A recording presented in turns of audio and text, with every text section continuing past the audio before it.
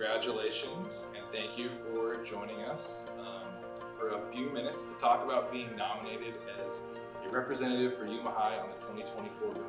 Thank you. What was your um, initial reaction when you found out that you were going to be on the Billboard? My first reaction, I was really surprised and I was just honored to be given the opportunity. I just couldn't wait to tell my mom. Yeah.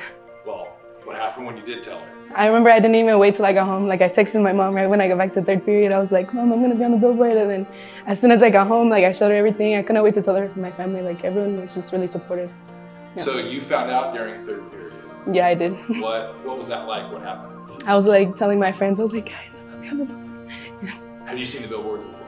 I did see it last year and I never thought like I was gonna be like one of the ones chosen for it. It was cool. Cool. Yeah. So when you are moving on from Yuma High next year, and think back about your time here, what are some of the things that will be always in memory?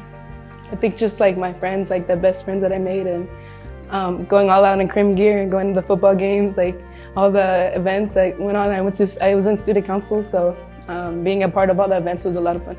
Yeah. So the events and the social part was was a big part of your life. How did Yuma High prepare you to graduate? I always knew I could go to the counselors, like Miss Coleman. She was always there for me. Um, every time I needed, like, I had a question about college or anything, and even like my time management, I was able to like, uh, I was able to focus and work on. I was working and doing school, so I was able to find time, and the teachers were always there to help me if I needed help. Amber is a perfect example of a student at High. She works hard, she's involved in things, she's active, um, she's never afraid to ask a question. I mean, she's the kind of student you want in class, the one who's gonna sit there and do their work and help their friends and make sure that she gets the grades to do what she wants to do after this is all said and done. What's next for you um, in fall? I'm planning to um, go to Arizona State University and study cybersecurity like my dad, and oh, I'm planning to tour the campus during the summer. What interests you about cybersecurity?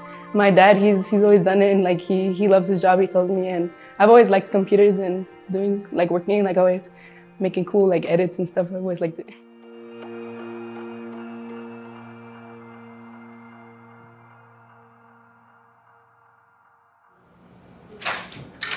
Congratulations!